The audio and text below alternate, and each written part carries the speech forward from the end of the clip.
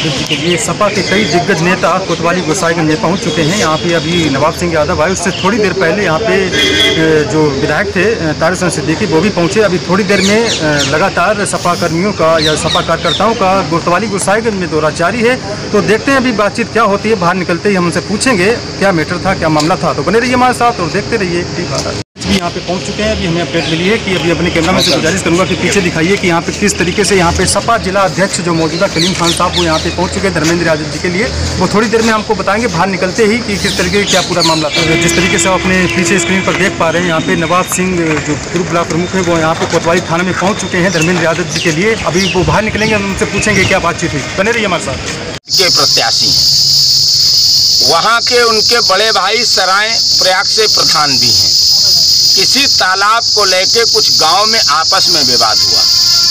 Bharatiya Janata party के नेताओं ने उन्हें छेड़छाड़ के मुकदमे में फर्जी बंद करा दिया।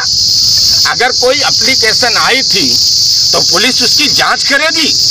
वैसे तीन तीन दिन, चार चार दिन लोग चक्कर काटते रहते हैं। पुलिस एक्शन में नहीं आती है। इतना बड़ा कौन कांड हो गया था? बलात्कारियों को पंद्रह पंद्रह दिन तुम ढूंढ नहीं पाते हो। किसी भले आदमी को लाके, किसी महिला के कहने पे और राजनीतिक लोगों के कहने पे बंद कर देते हो। अगर किसी ने एप्लीकेशन दी थी तो पहले जाँच कर लेनी चाहिए थी।